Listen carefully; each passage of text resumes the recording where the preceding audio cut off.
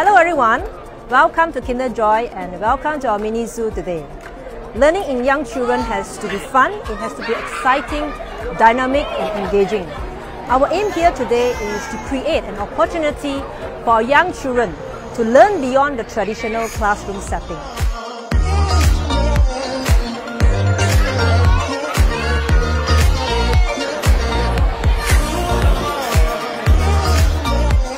Young children needs a lot of practical experiences and hands-on activities as this is how they learn best and absorb knowledge in the most effective manner. At the same time, we are trying to create a stimulative learning environment to support our children's learning as this will help to spark their interest and to create that curiosity in them so that they would want to learn more and to explore further.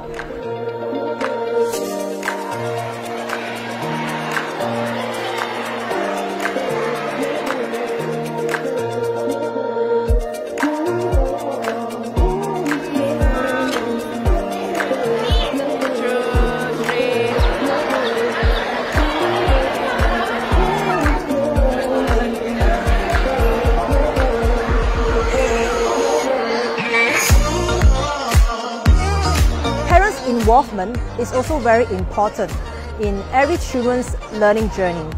So this event is actually to create that bonding between our children and their parents so that they can get together, spend quality time together and do meaningful and healthy activities.